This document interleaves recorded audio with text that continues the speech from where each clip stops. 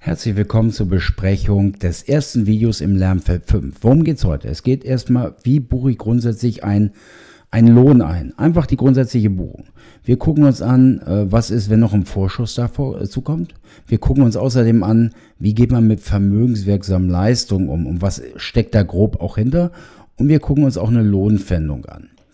Wenn Sie das interessiert, konkret direkt on point bezogen auf den Ausbildungsberuf Steuerfachangestellte, zweites Ausbildungsjahr, wo Sie dieses Lernfeld 5 haben, ausgehend von jeweiligen Sachverhalt. Und dann haben wir immer so aufbauende Sachverhalte, gucken uns dann konkret den Kontenplan an, genau die Buchung, wie sie für die Steuerfachangestelltenprüfung erforderlich sind. Dann sind Sie genau richtig hier. Mein Name ist Kai Boman. Ich bin Diplom-Finanzwirt, Diplom-Handelsjahr Steuerberater.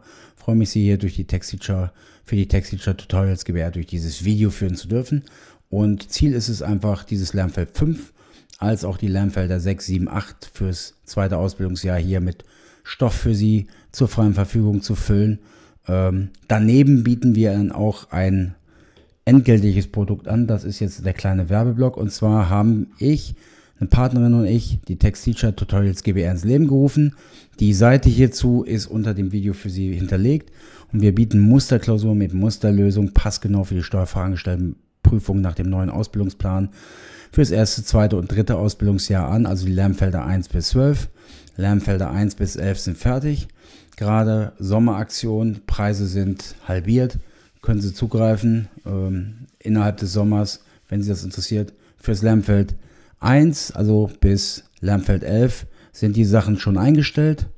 Ähm, das ist auch schon einmalig, weil im Grunde die Buchverlage jetzt on point, jetzt zu Beginn Juni für das zweite Ausbildungsjahr habe ich da noch nichts nicht so viel auf dem Markt gesehen. Und hier haben sie schon wirklich Klausuren dafür, äh, die sie zum Lernen nutzen können. Und genau, gesamte Ausbildung wird dann angeboten, wenn dann auch das Lernfeld 12 verfilmt ist. Da warte ich noch ein bisschen, das kommt jetzt die nächsten Wochen rein, weil da ja die Besonderheit ist, dass man dort ja solche Rollengespräche hat und keine typischen Klausuren. Genau. Anlass der Sache war einfach, warum habe ich sowas ins Leben gerufen? Warum haben wir sowas ins Leben gerufen? Ich selbst für die Beraterprüfung habe immer mit Klausuren vor allem mich vorbereitet. Das war der Hebel, um Erfolg zu generieren. Und das vermisse ich so ein bisschen bei der Fachangestelltenausbildung, wo ich ja 20 Jahre Erfahrung habe und entsprechend unterrichte, dass sowas dort nicht so vorhanden ist. Und das ist so der Gedanke, das einfach dann Nutzen bringt anzubieten. Okay, jetzt aber genug des Werbeblockes. Jetzt gehen wir in das Video an, rein und gucken uns direkt erstmal den Ausgangssachverhalt an. Wir haben hier den Arbeitnehmer Herrn Kai, Kai Sertron und der ist 35, kinderlos, katholisch verheiratet, Steuerklasse 3 und hat folgenden Angaben. Der hat einen Bruttoarbeitslohn. Der Bruttoarbeitslohn ist ja im Arbeitsvertrag angegeben. Dann haben wir Steuerabzugsbeträge mit Lohnsteuer und Kirchensteuer. In der Summe sind das 480,86. Und dann kommen ja die Sozialversicherung, nämlich Krankenversicherung, Pflegeversicherung, Rentenversicherung, Arbeitslosenversicherung, die ja vom Arbeitgeber und vom Arbeitnehmer bezahlt werden. Habe ich hier mit so einem Brutto-Netto-Rechner bereits vorausgerechnet, weil Schwerpunkt des Videos soll ja hier sein, wie bucht man die Sache und nicht, was sind die Sozialversicherungen selbst. Da können wir nochmal ein extra Video für machen. Genau. Und netto bleibt dann letztendlich beim Arbeitnehmer so viel übrig. Diese Arbeitgeberbeträge, die werden ja vom Arbeitgeber on the top auf die 5000 Euro zusätzlich weggegeben an die Krankenversicherung, die ja dann immer die Sozialversicherungsbeiträge erhält. Und diese Beträge, die 1064,75, die werden vom Arbeitnehmer abgezogen. Also der Arbeitnehmer hat einen Bruttoarbeitslohn von 5000, dann minus 480,86 und minus die 1064,75 Arbeitnehmeranteil. Und dann bleiben ihm netto übrig 3.454,39. So, jetzt gucken wir mal in den Kontenplan, wo das zu verbuchen ist. Als erstes gucken wir mal ins Soll. Und im Soll haben wir den Aufwand, den Bruttoarbeitslohn auf das Konto Löhne und Gehälter zu buchen. Äh, den Arbeitgeberanteil, den haben wir zu buchen auf das Konto 60, ähm, wo haben wir es denn? Gesetzlich soziale 6110, gesetzlich soziale Aufwendung. Da kommt im Grunde der Betrag hin, den wir hier unten haben. Und der Bruttoarbeitslohn, der kam ja auf das Konto 6000.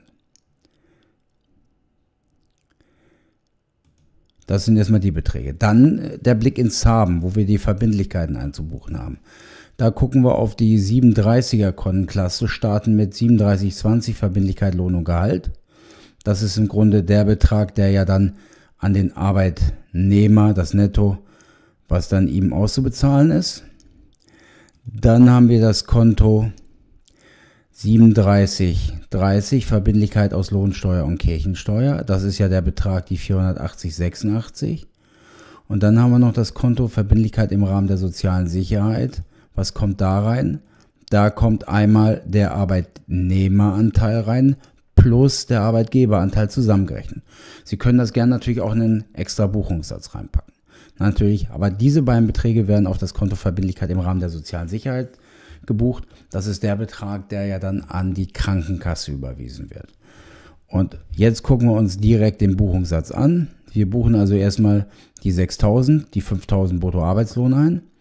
Dann 6110 gesetzlich soziale Aufwendungen. Da kommt jetzt der Arbeitgeberanteil rauf.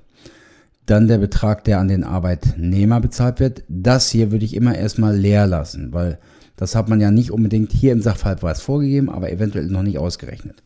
Ich würde immer erst anfangen mit 37,30, der Betrag, der ans Finanzamt zu überweisen ist, habe ich ja aus den Lohnangaben eben entnommen. Und der Arbeitnehmer- und Arbeitgeberanteil zusammengerechnet, also hier das rot umrandete 1034,75 plus 1064,75 zusammengerechnet. Das sind 2099,50 Euro. Können wir auch nochmal abchecken, ob das der Betrag ist. Ich rechne nochmal im Taschenrechner 1064,75 plus ähm, 1034,75 kommen auch 2099,50 Euro raus. Passt also. Das checke ich immer gerne ab. Und dann zu guter Letzt werden ja die Beträge jetzt überwiesen an den Arbeitnehmer im Buchungssatz. Da wird die Verbindlichkeit aufgelöst. Das ist dann der Buchungssatz hier. 3720 an Bank, dann die Zahlung ans Finanzamt, 3730 wird aufgelöst und dann haben wir noch die Bogen 3740, der Betrag, der dann an die Krankenkasse zu bezahlen ist. So, das war das erste. Jetzt geht es weiter. Jetzt gucken wir uns den nächsten Sachverhalt an. Zu Beginn des Monats Juli wird jetzt ein Vorschuss bezahlt an den Arbeitnehmer. Was hat es damit auf sich? Jetzt bittet der Arbeitnehmer eventuell, ey Chef, kannst du mir mal 200 Euro leihen? kannst du gern mit dem nächsten Lohn in 14 Tagen verrechnen. Das heißt, das ist kurzfristig, also baut mit der Zahlung der Arbeitgeber einen Forderungsanspruch gegenüber dem Arbeitnehmer auf, wenn er das Geld weggibt, der sich im Umlaufvermögen befinden muss. Und das Konto, was wir hierzu brauchen, ist dann hier das Konto im Umlaufvermögen, also 1er Kontenklasse. Da haben wir hier das Konto 1340, Forderung gegenüber Personal. Da wird der Betrag raufgebucht. Deswegen der Buchungssatz Forderung gegenüber Personal am Bank. Das Geld wird weggegeben. Und dann findet die Verrechnung statt. Ansonsten ist der Buchungssatz genauso wie der Buchungssatz davor. 6000, 6110 ändert sich nicht, das Konto 3730 ist wie vorher, 3740 ist ja alles einen Monat später, aber jetzt wird zusätzlich ja diese Forderung hier mit dem Gehalt verrechnet, so dass dann die Verbindlichkeit Lohn und Gehalt, was der Arbeitnehmer kriegt, dann ja um 200 Euro geringer ist. Ja, und dann finden halt noch die Buchungen statt an den Arbeitnehmer. Die Verbindlichkeit Lohn und Gehalt wird ausgebucht.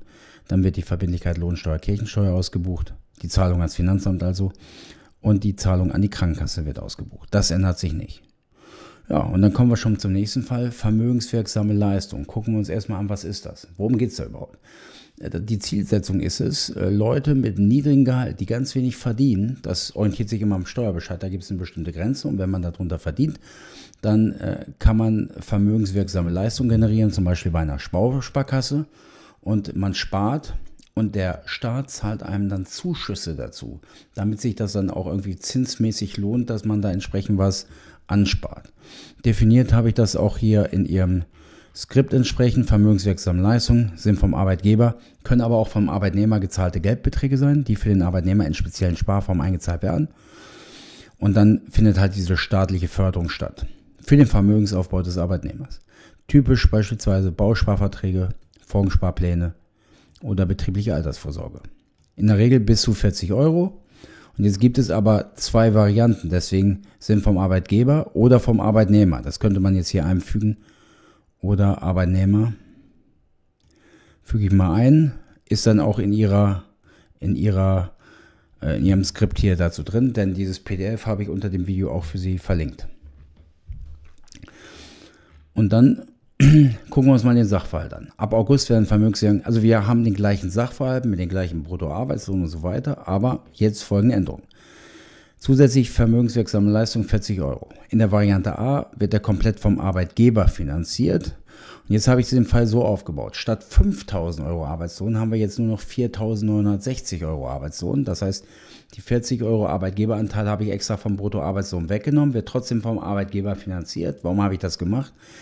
Ich wollte einfach nicht die Sozialversicherungsbeiträge und die Lohnsteuerbeiträge neu berechnen, denn der Arbeitgeberanteil, der ist auch lohnsteuerpflichtig, der ist auch sozialversicherungspflichtig. Und äh, insgesamt soll die Bemessungsgrundlage bei 5000 bleiben und deswegen hatte ich jetzt mit diesem Trick gearbeitet, dass der Arbeitgeberanteil, wenn da drin ist. Das ist die Variante A. Dann die Variante B ist, es wird komplett vom Arbeitnehmer finanziert. Variante C, halbe halbe, also 20 Euro Arbeitgeber, 20 Euro Finanzierung vermögenswirksame Leistung vom Arbeitnehmer. So dass jetzt, wenn 20 Euro vom Arbeitgeber kommen, der Arbeitslohn brutto nur 4.980 Euro beträgt. Zielsetzung, wie eben gerade, ich wollte jetzt extra nicht neue Sozialversicherungsbeiträge berechnen, weil insgesamt der Gesamtlohn höher ist. Deswegen diese Variante. So, welche Konten brauchen wir jetzt? Wir brauchen jetzt im Soll buchen wir jetzt ein auf das Konto 6080 den Arbeitgeberanteil vermögenswirksame Leistung. Wenn wir einen Arbeitnehmeranteil haben, der ist weiterhin im Soll im Konto 6000 Löhne und Gehälter drin. So, Arbeitnehmer und Arbeitgeberanteil zusammen sind wiederum eine Verbindlichkeit. Jetzt müssen wir ins Haben gucken des Kontos. Da gucken wir dann also in die Dreierkontenklasse. Da haben wir das Konto 3770, Verbindlichkeit aus Vermögensbildung. Da kommt der Arbeitnehmer und der Arbeitgeberanteil zusammengerechnet drauf, der dann an die, meinetwegen an die Bausparkasse zu überweisen ist. Ja, jetzt gucken wir uns die Buchungssätze mal an.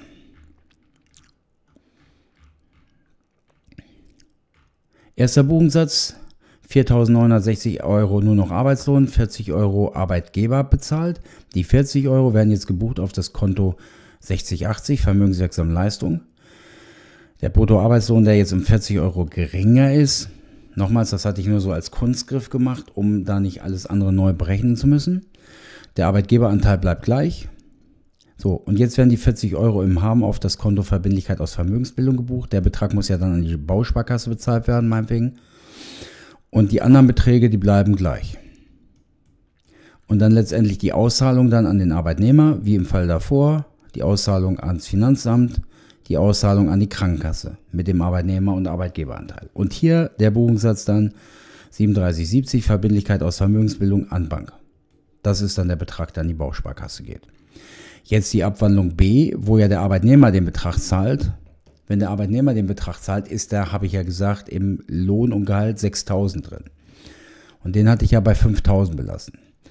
Deswegen keine vermögenswirksame Leistung. Der Arbeitgeber zahlt ja nichts. Gesetzliche soziale Aufwendungen ändern sich nicht. Verbindlichkeit, Lohn und Gehalt ändert sich auch nicht. Verbindlichkeit, Lohnsteuer, Kirchensteuer bleibt auch die gleiche. Im Rahmen der sozialen Sicherheit bleibt auch die gleiche. 37,70. Die 40 Euro bleiben ja auch gleich, weil da ja Arbeitnehmer zusammengerechnet mit Arbeitgeberanteil raufkommen.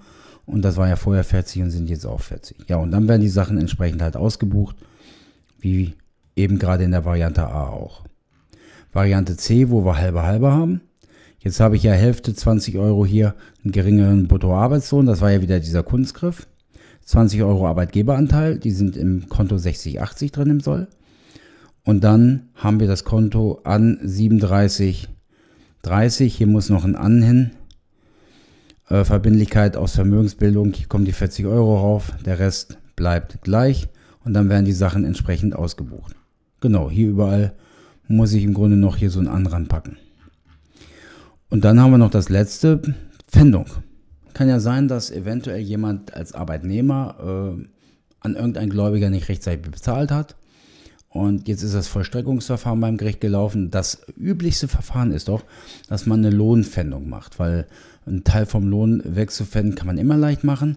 Dann würde nämlich die voll, ja, die, der, die für das, die Vollstreckung zuständige Stelle das jeweilige Gericht so eine äh, Pfändungsverfügung schreiben an den Arbeitgeber und der Arbeitgeber wäre dann verpflichtet, das Geld, was geschuldet wird, nicht an den Arbeitnehmer auszuzahlen, sondern einzubehalten und dann an die Kasse zu zahlen. die es dann weiter an den Gläubiger reicht. Haben Sie häufig auch beim Finanzamt, die haben eine eigene Vollstreckungsstelle und da ist wirklich das häufigste Mittel, wie man vollstreckt mit der Lohnpfändung. Genau. Und das ist wirklich auch ein gutes Instrumentarium. Wenn der Arbeitgeber das nicht macht und dieser Verpflichtung nicht nachkäme, dann würde er für diesen Betrag haften. Und deswegen behält er natürlich lieber den Betrag ein. Und außerdem ist es auch sehr unangenehm für den Arbeitnehmer, wenn der Arbeitgeber mitkriegt, dass er in finanziellen Schwierigkeiten ist. Aber jetzt geht es ja um die Buchung hier. So. Wir haben jetzt den Sachverhalt. Er ist jetzt verpflichtet, der Arbeitgeber 200 Euro des Arbeitnehmers einzubehalten, ne, die er einem Gläubiger schuldet. Und das gerichtliche Vollstreckungsverfahren, äh, dafür soll es eingezogen werden. So, wie werden jetzt diese 200 Euro eingebucht? Die 5000 Lohn und Gehalt bleiben gleich wie der Ausgangssachverhalt, der Arbeitgeberanteil ändert sich nicht. Und jetzt werden diese ähm, 200 Euro, die zu bezahlen sind, müssen wir auf ein eigenes Forderungskonto buchen. Und das ist das Konto 3725 Verbindlichkeiten für Einbehaltung von Arbeitnehmern. Da wird der Betrag raufgebucht und das sehen Sie dann auch hier die 200 Euro. Und an 3720 der Betrag ist entsprechend dann kleiner, der Rest bleibt gleich.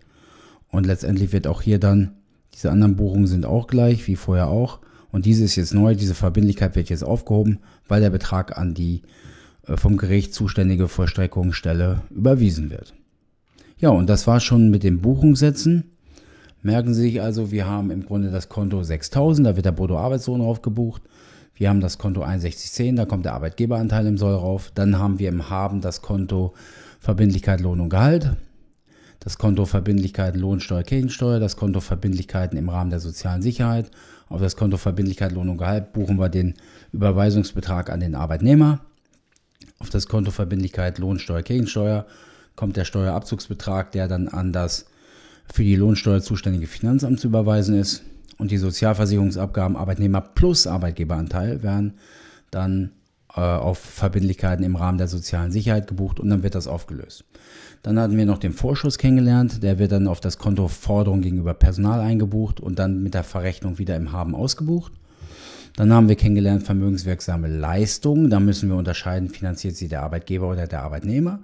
Wenn es der Arbeitnehmer finanziert, ist es im Soll im Konto 6000, im Lohn- und Gehaltskonto.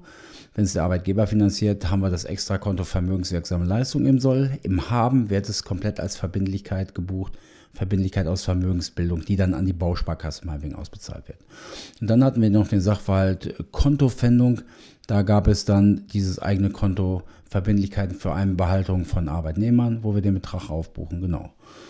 Das war's und ähm, Demnächst kommt dann äh, das zweite Video, wo wir dann entsprechend weiter hier die Geschichte Lernfeld 5 aufbauen. Ich bedanke mich für Ihre Aufmerksamkeit.